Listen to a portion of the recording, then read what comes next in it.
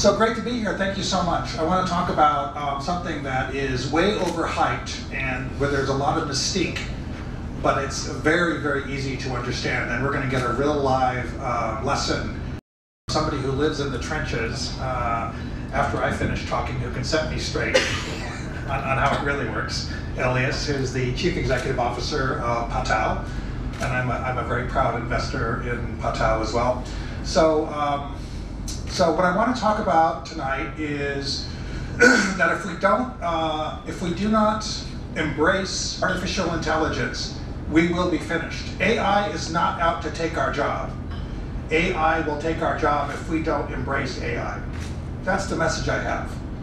If you don't embrace it, you're going to lose your job. If you embrace it, you're good to go.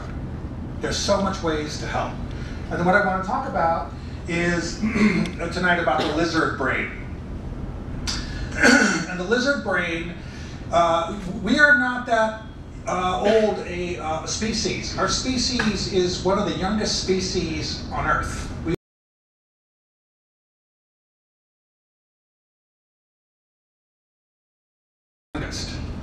and we've had about 890 iterations of generations of humans. That's not a lot. And so we have a uh, amygdala on the base of our brain, right above the tongue, which we can get to when we are afraid. And when we are afraid, we get a lot of habits that are the worst possible ways to assess risk.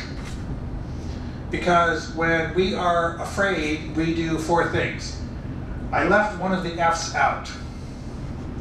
Uh, we want to, whoops, we want to uh, feed, we want to fight, and we want to refreeze, and, and then the other one, uh, which we will not do in such polite company.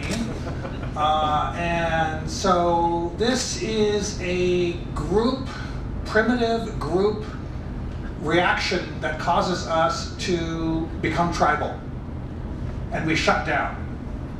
And what is a CFA? Well, what is an MBA? I've been teaching MBA students for 19 years. And, and I, I, think that, that so much of all, all of what we do is assessing risk. The risk of a bank, the risk, the risk of starting a bank, the risk of starting an oil rig, the risk of starting an insurance company, the risk of starting a, can, a confectionery company, the risk of starting a petrochemical factory. It's, it's assessing risk. And as a group, so often especially as a group, so often our ability to, to assess risk is terrible. When oftentimes, as individuals, we are often very good at assessing risk. At the group level, we often fall apart. And artificial intelligence is trying to get away from the terrible decisions we make often as a group when we are afraid and we become tribal. And this is really happening right now in the world. Uh, right? And so we need to have a way to take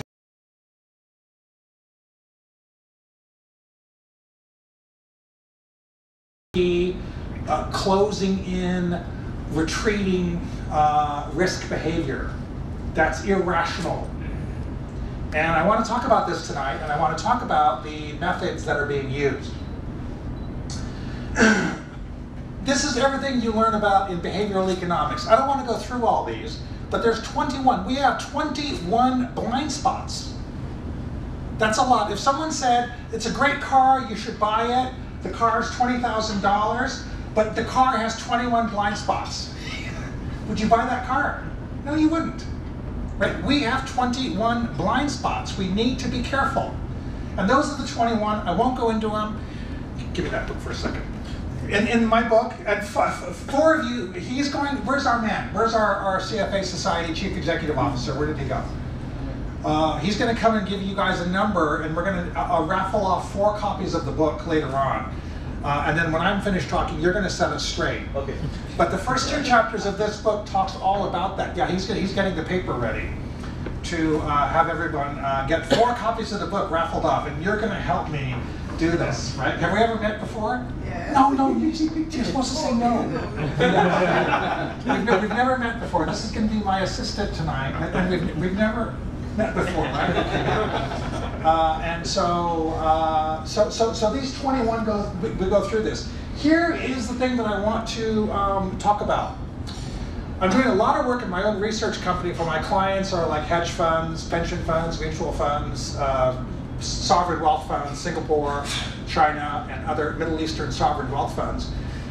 And I, I, we're, we're, right now, about right now, we're starting to really tip into abandoning traditional research and going into this. And what I want to say to you is that 95% of all of the stuff that is artificial intelligence is everything you already know. Because those um,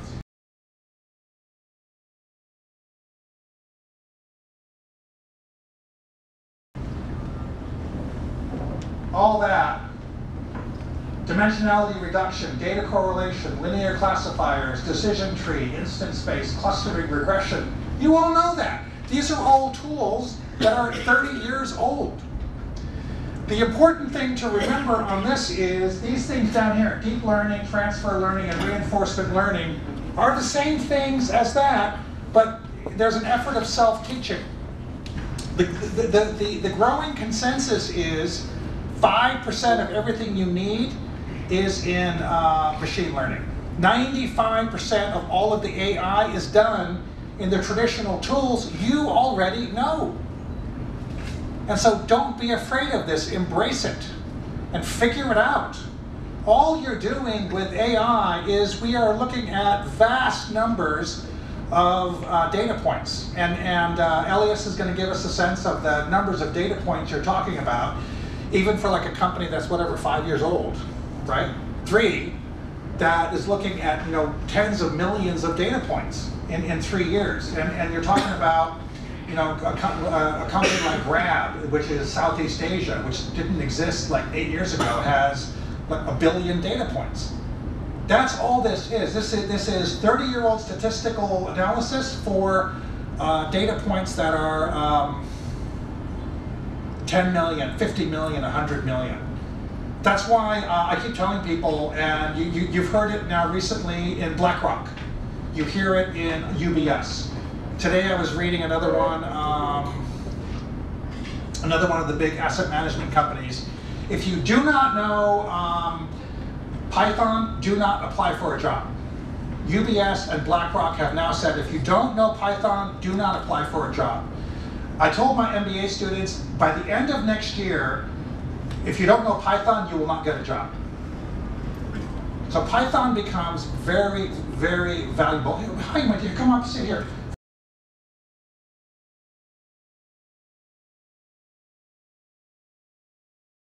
Welcome. How are you? Awesome. And so, so I, I, I, would implore you to look at something like Python as something that you need to learn in the evenings um, or you, and by the way, anybody who's a CEO of a research company, get somebody in and teach your analysts Python. This should be an in-course, uh, this an in-work course, and it should be mandatory. Absolutely, positively mandatory. So the point I want to make is something like Python is using traditional statistical methods. You're just using large data sets. That's all you're doing. And increasingly, I think the machine learning stuff, which you know Google does very, very well, in almost all of the stuff that I'm hearing from large financial institutions, large hedge funds, it's not being used. Because it's too complicated, it's too complex, it's too academic, and it's not yet ready for the market. But the stuff on top is. And what are the four things? If I can summarize the four problems, the four human blind spots, if I can summarize them into four, and then this, and by the way, anybody who wants this PowerPoint, please have it. Um, so, right? So you can just give it to anybody who wants it. So, so groupthink. groupthink is very simple. Uh, you know, you've seen all these studies about groupthink, uh, where we ask one person to leave the room, and then you you have like three sticks, and then you agree one stick is shorter than the other two, and the, the person comes back in, and everyone agrees that the shorter stick is actually bigger than every than the other stick, that person will agree that's a bigger stick because everybody else agrees. And there's all these studies over and over again that we get um, bushwhacked by the group. So if the group knows better, I must be wrong. That is bull. Right? And we need to have ways. And one of the things I always tell people, and it's happening more and more, anybody here's left-handed, raise your hand. Oh my God.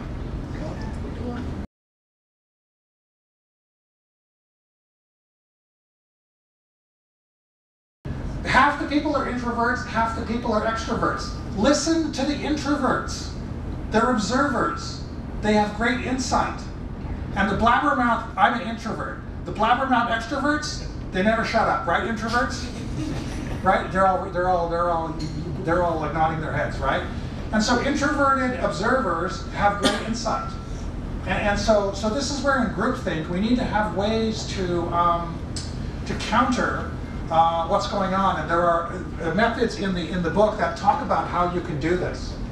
The next one is uh, the fear of authority. And I, I, think I think the whole thing about the Asia thing, especially more of the East Asia thing about filial piety, I think that's just like nonsense. I think everybody is afraid of the boss. So if the boss is right, I can't be right. Right? AI gets around this chronic problem of being terrible at assessing risk because I my risks that I assess must be wrong because my boss says it's wrong. Happens all the time. I've seen it all the time in research, in asset management, in private equity. It happens all the time, and we need to get around that. And then lack of imagination, that's the number one problem, the lack of imagination. When you read a lot about resilience and how people who keep who fail can talk about resilience, because uh, this guy is like, you're an awesome example of resilience, and, and, and, and, how that happens. And, and, and with resilience, you, those people can anticipate shortcomings, they can anticipate failure. And the capacity for anticipating and uh, imagining failure and catastrophe is very important. And, and humans are terrible at that because we are forever hopeful. and we need ways to get around that in assessing risk. And the last one, uh, and, and, and also very important, life is very irrational. And so we need ways to get around that, that hyper-rationality that we attach to assessing risk. And this is what all these tools of AI are designed to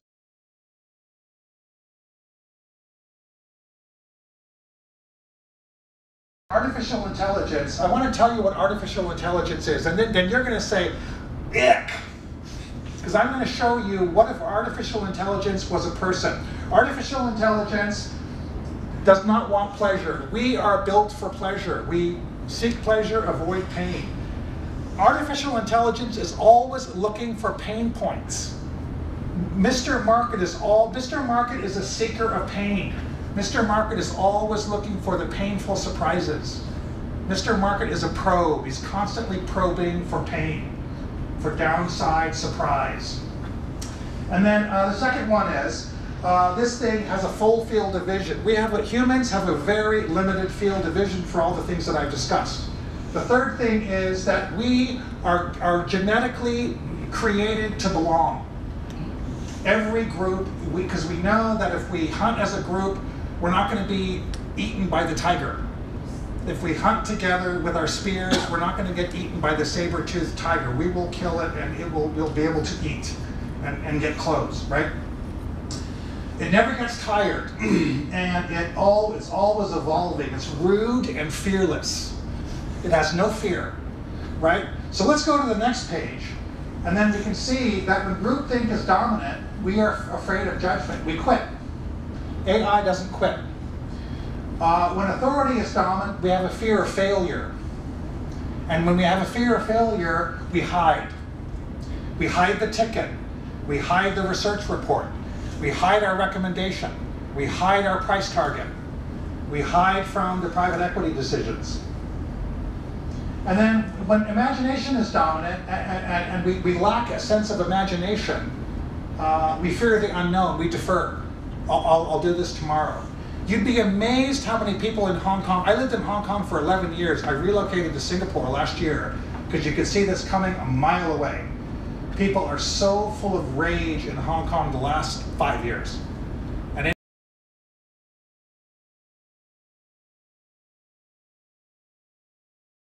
And, and, and the, the, the uh, best example in the world, and this is true, uh, best example in the world of how hu irrational humans are, about how, how utterly incapable we are to have any imagination when it comes to our own uh, personal safety and our personal health.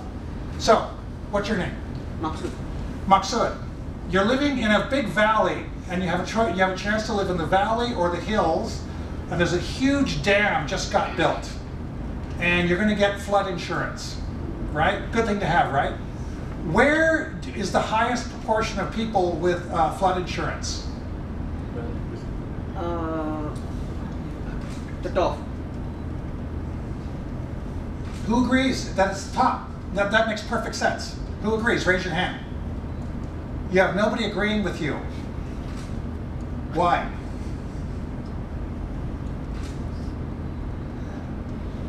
Who's the least likely to have flood insurance? The people at the top. The, the people at the top, but the Oh. our company will offer. Who agrees? Who agrees with that? It is go and look at all the studies. The people who are least likely to have flood insurance, the ones right next to the dam. Why? Because why? It's almost certain that they They think they'll die. No, I don't think that's true.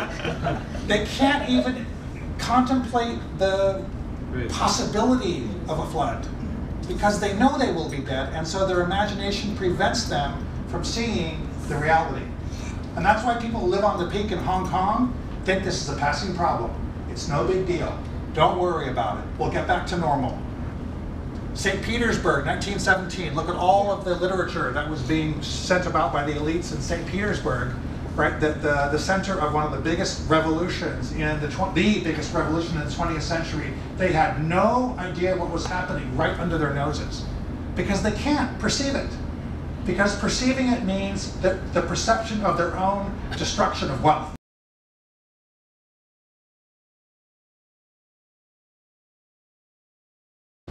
Right?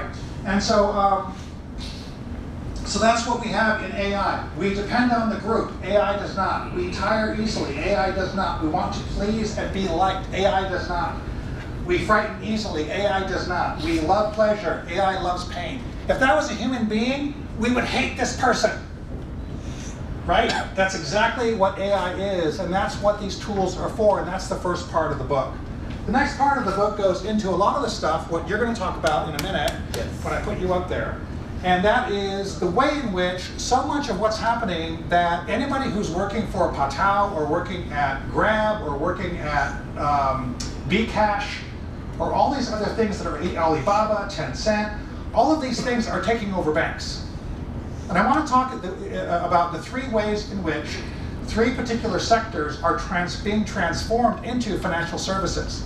And of course, the first one is uh, payments, where we're looking at Paytm and uh, Flipkart and Credit Karma. And we have a, a whole chapter on India in the book. Uh, and, the, and the chapter on India looks at Amazon and Flipkart, which has been acquired by Walmart, and um, a little bit what's happening with Tencent and um, and Alibaba, and the way in which they're going at it in India, which is you know really fascinating, because these companies are being transformed into financial services, and I'll show you that in a minute. The next one is the way in which uh, retail is being transformed. And this is really important because a lot of you guys who are working in, in, in look or looking at retail or looking at retail companies or retail you know venture capital, these retail companies have tremendous value that hasn't been unlocked. Because a lot of these companies are sitting on a gold mine of data and they're doing nothing with it. And you guys are like right at the edge. Like Indonesia is maybe three or four years ahead of you guys. The stuff that's going on in Indonesia is so exciting. Uh, and, and I think that's going to start happening here pretty soon. And you guys, and I, I was in Jakarta like three years ago, saying you guys have got to get on top of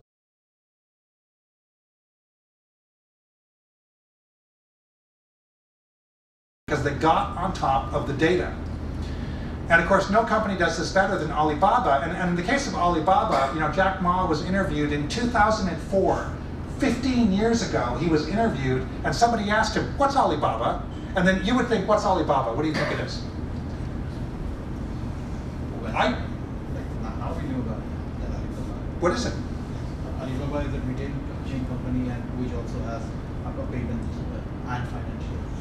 Right, so re- retail payments. That's what I would have said. Do you know what Jack Ma said his company was in 2004? We are an information data company. And everyone's like, what in the hell are you talking about? You're like a retail payment company. We are a data company. And he saw that 15 years ago. That's a lot of like foresight. and it, it's an English, it's an English interview. Go back and look at it. It's really fascinating. He got it 15 years ago. But you've got Walmart, Tokopedia, and Lazada. And Lazada and Tokopedia were kind of sleepy companies. What's going to happen to some of your sleepy companies in Bangladesh? They're going to get acquired by tech companies, and they're going to really go for it. Right? The, the, the, the, the, the online's going to go backwards into the offline and really begin to move. And that's the next step in Bangladesh. And then, of course, rideshare, and, and we were talking this morning for a couple of hours on all this, you know, and what's happening with, you know, a lot of rideshare companies, uh, you know, in in in, uh, in in Bangladesh right now, and you know, uh, it's it's weird how, you know, Grab, you know, became you know completely dominant in Southeast Asia. Do you want to hear the story of how Uber left Southeast Asia? Do you know? Did I tell you? No, So, Uber was in Jakarta. By the way, I'm not here. I'm invisible. I'm, I'm putting on my Harry Potter invisibility cloak. Uh, so Uber was in Jakarta, and dum dum dum dum dum, they made a payoff to the Jakarta Police Department, Jakarta Metropolitan Police, which is a provincial police department. Jakarta is a province. Don't mess.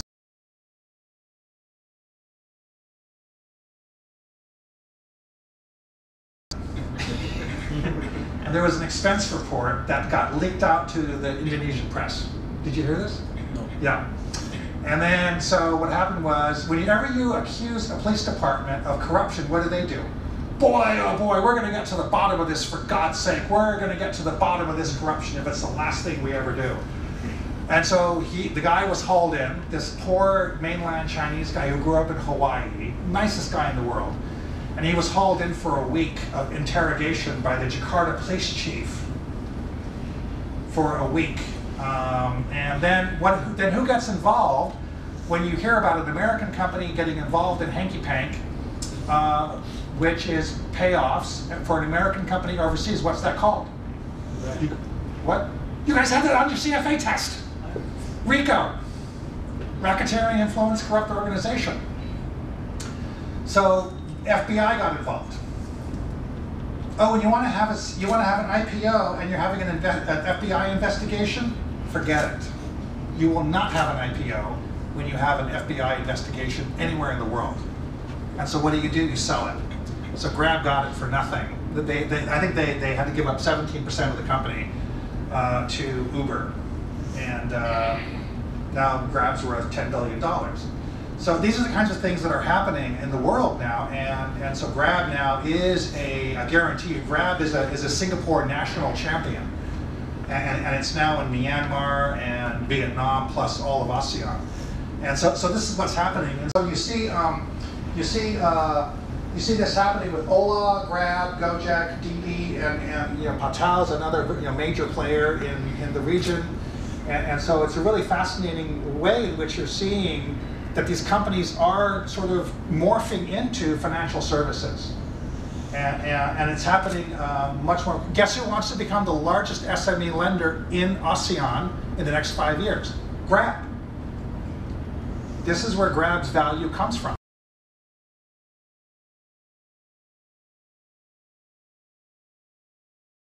clean and create and, and you got to make pictures you got to make illustrations of what's going on that's why python is so useful python deals with vast amounts of data and it does tremendous illustration of what's happening with the rate of change over time of data points relative to each other x y rate of change is hard because it requires you know four dimensionality right? And it's space time. And so this is where it becomes so important to have Excel, right? Forget it, right? And, so we need Python. So you guys have got to have mandatory Python lessons in your office like in September. Get moving, right? And then uh, I just want to show you what's going on here. you know, with Alibaba, for instance, in India, Indonesia, Singapore, Thailand, Philippines, Bangladesh, right? With bKash, uh, Gcash, True Money, Lazada, uh, Tokopedia, and so forth. And, and so the example I would give you with Paytm in Indonesia, I'm from California.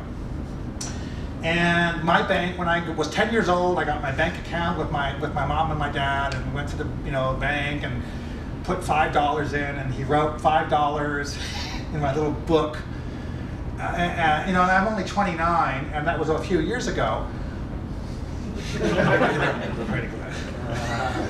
and, and so, um, but but look at it took Bank of America like 90 years to get like 15 million customers in California. 90 years to get 15 million companies. Alibaba got 250 million customers in India with Paytm in, you know, 12 months.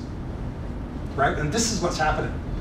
Right? You have a tremendous capacity to create vast bank accounts, right? Gojek has 15, Gojek has more bank accounts now than the largest bank in Indonesia.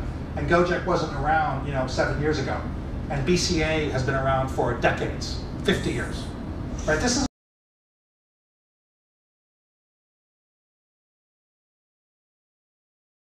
interesting companies in the world. Because Facebook Libra has a, has a capacity to easily surpass the largest bank in the world, uh, easily, uh, which I think now is either kind of ICBC. Because ICBC, the largest bank in the world by customers is uh, Agricultural Bank of China, has 350 million customers. Well, guess what? Facebook Libra will be six times larger than Agricultural Bank of China in terms of, of its potential customer base. So we'll talk about that in a minute. Uh, here is what's going on. So Tokopedia was kind of a sleepy company before. Paytm, I think Paytm would be out of business if Alibaba hadn't acquired it. I think they would be out of business because it was kind of going down. Now these are full service financial institutions. And what is happening here? Alibaba's had 15 years to perfect its, uh, its, its platform. It's, it's, it has a 15 year head start from anywhere else. And after our conversation today, I'm just so convinced that the United States is so afraid of Alibaba because it's utterly dominating something that you guys understand really well being in this part of the region. One of the really important parts of history always, the people who dominate one road tend to dominate globally. It's really weird. What road is that? Huh? Someone said it. What road? The Silk Road. The Silk Road is everything. Because it's basically going from Southeast Asia to Istanbul. And right now, Alibaba dominates that. And in the, in the 1800s, it was a constant uh, battle between uh, the British and the Russians for dominance of that Silk Road. Because it's, it's, it's all of your oil and your trade and your huge Asian population and the access to Europe. Uh, and and that, that's a key, it's a key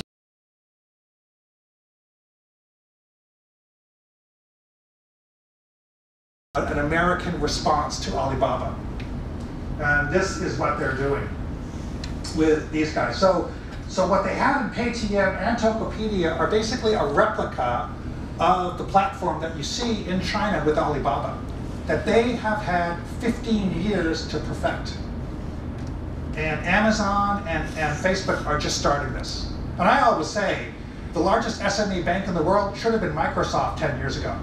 The largest bank in the world 10 years ago should have been Facebook. And so when I get asked by people writing stories for, like I did a thing with Forbes last week, to me, I said in Forbes, I said, I'm not surprised that it happened. I'm surprised it took so long. Like, why did it take Facebook so long to figure this out? Right? And, and, and I've done a very long report on uh, Libra, so if anybody wants it, please see me after the research, the, the, the thing, and I'll give you my research. Here's also what Amazon is doing. And by the way, I think because of Facebook Libra, the People's Bank of China is rushing forward on their own China coin. And that's going to be launched in November. So the, the reaction of Facebook Libra is causing China to come out with its own coin. And I believe Amazon and Apple will have their own coin, and Google quickly, very quickly. So I think you guys have to have a coin here. Have coin. P-coin. Yeah. No, we're going to call it the Elius coin. How's that? Uh, now, so here's uh, now here's what um, interestingly here's what um, has been done with um, Amazon between acquisitions and creation in 18 24 months. Amazon has utterly and completely replaced the entire franchise of Standard Chartered with pure online activity. And so this leaves Standard Chartered in the dust. No wonder why Standard Chartered is trading at 0.5 times book, 0.4 times book. No wonder why the banks are dying. This is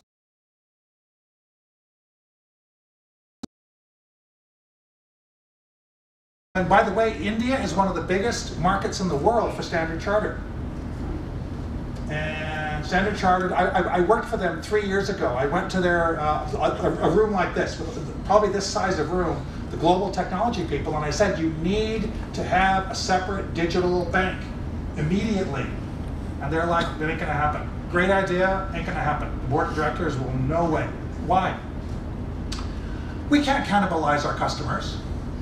First, completely stupid answer. The second one, which kills me, that's even stupider, is all the old people have money. Bullshit. and by the way, when you talk about China, it's like these poor Chinese, you know, they have two sets of parents, one set of parents and two sets of grandparents are going to have to take care of. They're going to inherit eight trillion dollars, you stupid idiot. They're going to inherit eight trillion dollars in cash and probably, you know, 20 trillion dollars in assets. What is the matter with you people? Coca-Cola only ever has only ever marketed to the younger people to get them to be a lifetime customer. Coca-Cola doesn't care about old people, they already drink Coke. So the banks have just a total absence of imagination, complete absence of imagination, right? And so, so this is one thing that they did. Uh, and so this is the problem. Here's the problem. Look at what Alibaba has on offer. Look at what Amazon has on offer. Look at what um, Walmart, even Walmart has on offer. And you can see when you compare it to HSBC and Standard Chartered, nada, nothing. Zilch, Zippo, right? Advertising, food delivery, tickets, music, utilities, coupons, wallet, uh, voice shopping, groceries. And so I was talking to one bank group like a year ago, maybe nine, six months ago, and, the, and, and one guy's like, oh, well, you should you expect these banks to turn into grocery stores and being, you know, delivering vegetables? And I'm like, you know, you, come on, ass. You know, no, I don't expect banks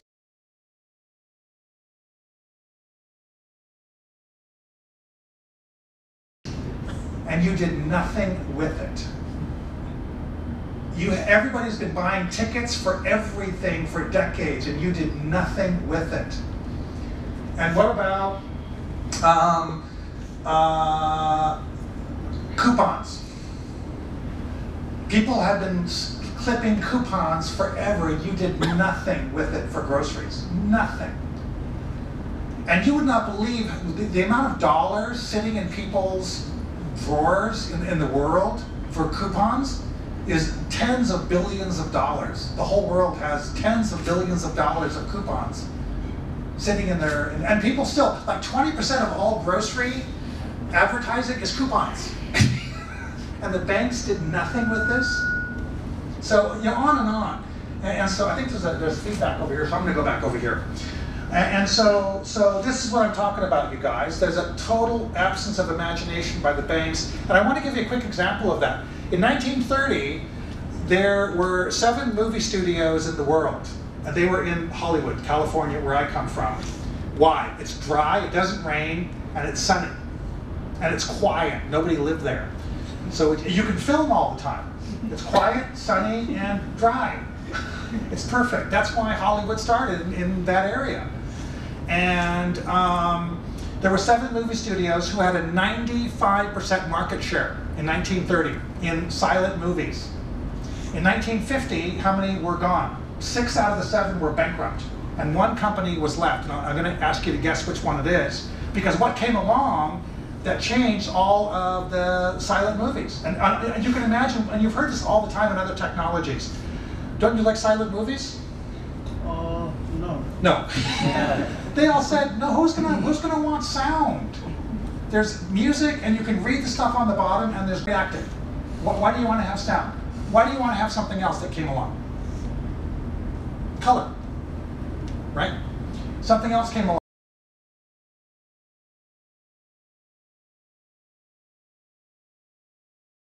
Live action animation musicals, 10 minute cartoons, uh, television came along, radio came along right? And so, what was the one company of the seven studios that still survives today because it became a lifestyle company? Disney. Disney.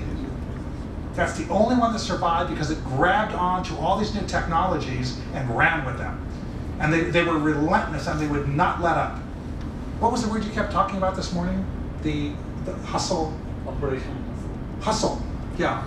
Walt Disney was a, a, hyperactive hustler. He kept on. His, his brother was even worse. His brother was going to the banks begging for loans to do new animation.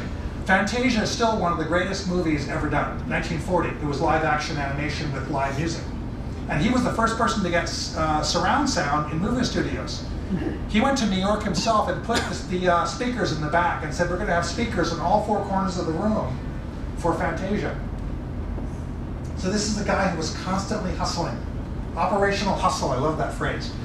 And so, and so this is what, what, what, what, how Disney survived. And, and it became a franchise lifestyle company. That is what Alibaba is.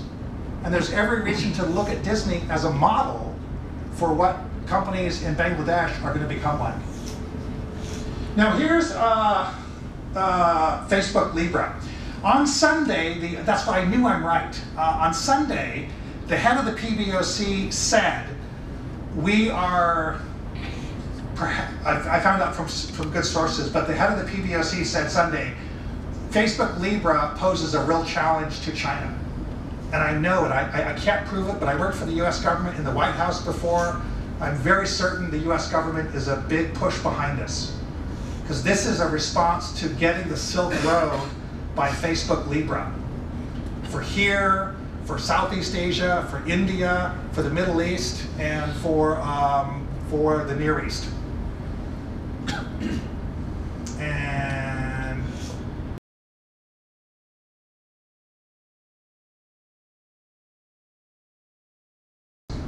anything, what's the commonality of all the companies in front of you? Except one. They're all American. First of all, Mercado Libre I was talking to David today, the other day on, on the weekend, and uh, he was making the point that Mercado Libre is really the payments company for South America. and so America's got this Monroe Doctrine: stay the hell away from South America. It's our, we're in charge of it. So Mercado Libre sort of gets a get out of jail free card and gets on this. But every one of these companies is American. And so this is going to become an American answer to Alibaba with 2 billion customers. So I was talking to the lady who is the head of the fintech for the Philippine Senate. And she was like, Are you kidding me? We have 90 million people in the Philippines and 110 million Facebook accounts. And all these people do at Western Union and these other companies is rip Filipinos off of the teachers and the amas, the maids, and the nurses who send money back every year the Philippines has been ripped off of billions of dollars by Western Union. Guess what? Facebook Libra is going to charge it for free. Right? It's going to be free FX. And so this is going to get to 100. uh, you know, I was in Indonesia. I was talking to the largest bank in Indonesia. You know, people need to. You need to be joining this. It, it, you know, if, if, but but I think there's a um, there's kind of an us versus them. I think in this thing. Um, I think you have to be a friend of, uh, you know, Uncle Sam. Uncle Sam. and not a friend of China. Um, so is Bangladesh a friend of China or Uncle Sam? Uh, Aha! You want to? You're two timing. Dude, you guys are. You guys are. You guys are. No, you're hussies. That's what you are. You can't make your mind up. Fickle. No, no. India is it, the best one in the world on this. Is India is like the best one at sleeping around. India has been doing.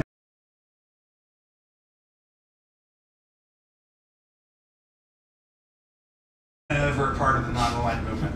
You guys would have known about the non-aligned the non-aligned movement. We are in a new technological non-aligned movement. This is what is happening. The first non-aligned movement was headquartered in Bandung with Sukarno. This new aligned, non-aligned movement is headquartered in Hangzhou, China, with Alibaba. That's what's going on here.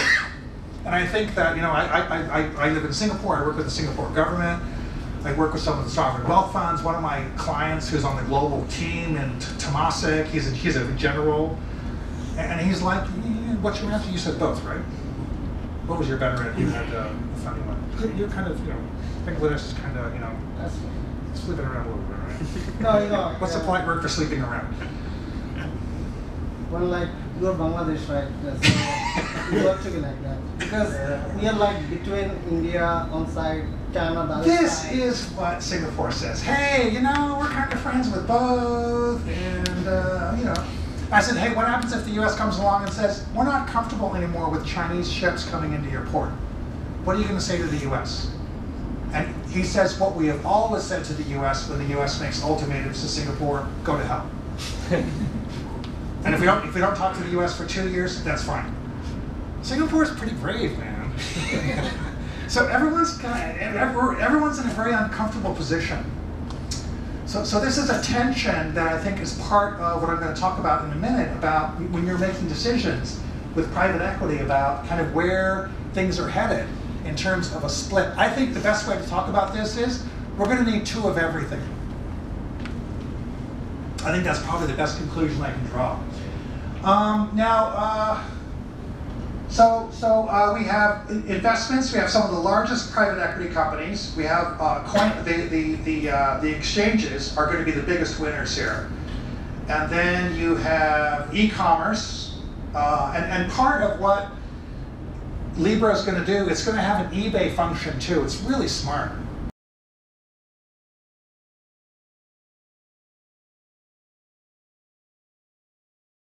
The money market fund. It's Tencent QQ. It's eBay, and it has the capital structure of the IMF. It's really, really smart. It's very, very clever. Uh, now, why I am so interested in this page is because I believe that the, the, the one country that is further ahead than anybody else in the world in the applications of blockchain for smart cities, for the financial system, for working capital, for payments is China. China is further ahead than anybody else in the world. And they will be the first central bank to issue their China coin. And I found out yesterday it's going to be issued by the, th- the big four banks and by um, Alibaba, Tencent, and UnionPay. It's very smart. And HSBC and Standard Chartered, the two banks that were originally only distributing Hong Kong dollars, right, cut out. Like, there was a big message sent in the formulation of this that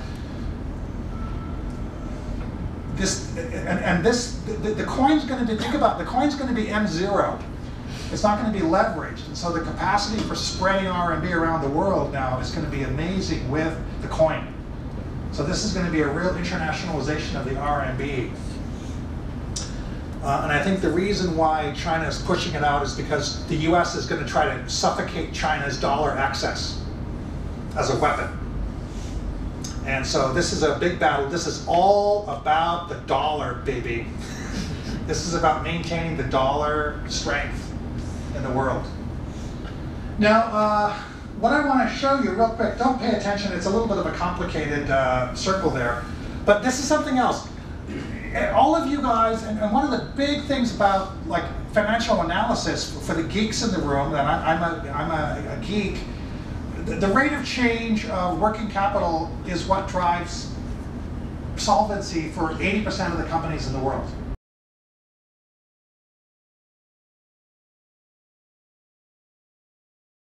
That can be revolutionized in a third uh, part of the balance sheet where a blockchain based system can match all receivables, payables, letters of credit for an entire uh, ecosystem for any logistical type of industry uh, with visibility to a group of banks. Bam. Your job is completely changed in how you analyze companies. and banks have huge amounts of visibility. And you can no longer have constant rip-offs of letters of credit uh, with multiple hypothecation rip-offs. And if a rim company who's making a tire and the tire company and the axle company and then the car company and the distributorship all have visibility in terms of their orders, this is what blockchain can do to revolution, revolutionize working capital for SMEs. You guys have got to do that here. There's no there there here. There's no, right, there's no thing here. This is great. America has this ancient, decrepit thing that is the credit card, copper, check, paper check thing that's 50 years old. And that's why China was able to do this so quickly. You guys will be astonished how quickly that will take off here because there is no there there. And because you're going to talk to the central bank and they're going to see it's in their interest. Boy, oh boy, I can tell you right now, there's a lot of talk right now today, this week, with central banks saying, holy cow, we have got to get on top of this since the PBOC is doing this. I got a, uh, my client in Toronto was like, we got a call from the Bank of Canada. The Bank of Canada is already on this, right? So all these central banks are getting on the stick, getting with the stick to get going on this and to force banks to get into consortium. Cloud, I don't want to talk about. It's so important.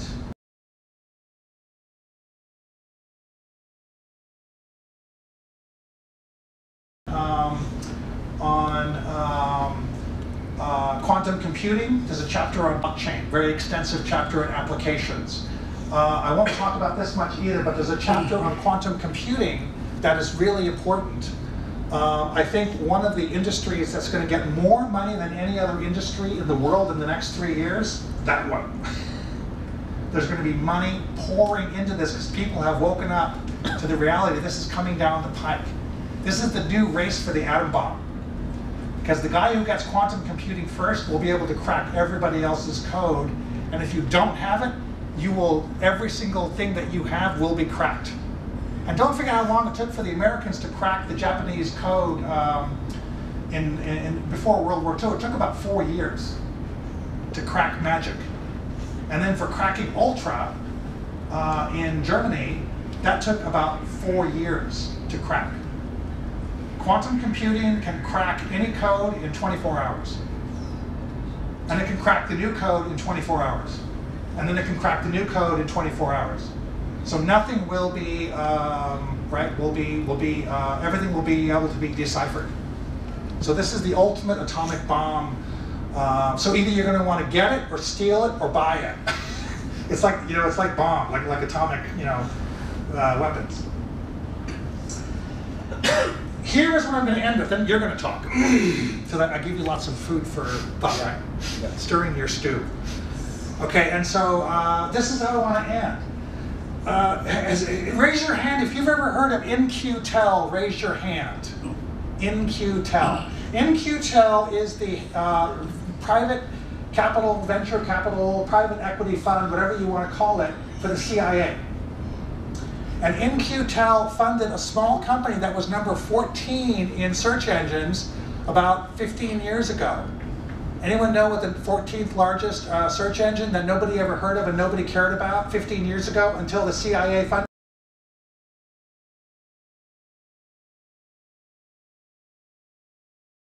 Right? Funded by the CIA. 168 companies are currently funded by the CIA in California. So, and I worked in the White House, and I can assure you that when we make comparisons between the way in which the Chinese state sort of manages and um, maneuvers various technologies, there is not that much different in the way that America does it. 42% of the American economy is government. And so this pure capitalism in America thing is total crap. And, and so, so what I want to show you is that here we have a world of AT&T, Verizon, the NSC, that's where I worked before, Department of Defense, CIA, NSA, In-Q-Tel, Palantir, and then Qualcomm, Apple, Facebook, Google, Amazon. This is coalescing into one group. and that's got a lot of political baggage. Because um, Peter Thiel, who's the CEO of Palantir, had a harangue in the Washington Post accusing, guess who, of treason, and that they should be investigated by the FBI. Google. Because Google is working with China, and Google turned down Department of Defense contracts from weapon systems that were offensive to the employees of Google. And so he accused Google of treason. In America, that's a death penalty. So this is like crazy talk. But this is how weird America's getting. And on the other side, this is the world of you know, Huawei and the Ministry of State Security, State Council, the big mama, the big mothership, mothership China, China Development Bank. That's like everything. They are in 110 countries and have one of the biggest balance sheets, one of the biggest secret balance sheets in the world, right? They're like mothership China. And then you've got Alibaba and Tencent. You have WeChat and Ant. And you have AliCloud and Tencent Cloud. AliCloud totally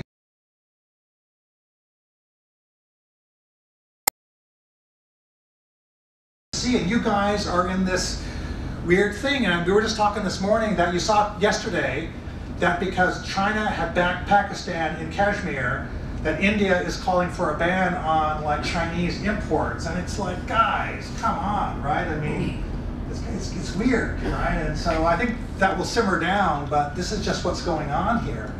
Uh, and of course, India hasn't decided who it wants to be sleeping with recently.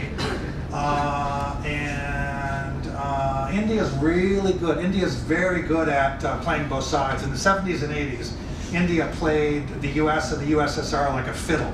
They were really good at it. and Pakistan's pretty good at it too. And so this is going to be a real difficult one. I think we're going to be in a world of having two of everything. That's my sense. And there's a whole chapter on, in the book on this. And so, so I'm going to I'll stop it at that. You're going to talk, and then you can stay a little bit for Q&A, and then you have to leave. So give me your thoughts on sort of payments and, and, and the online world reaching back into the offline world and how do we monetize data for financial services?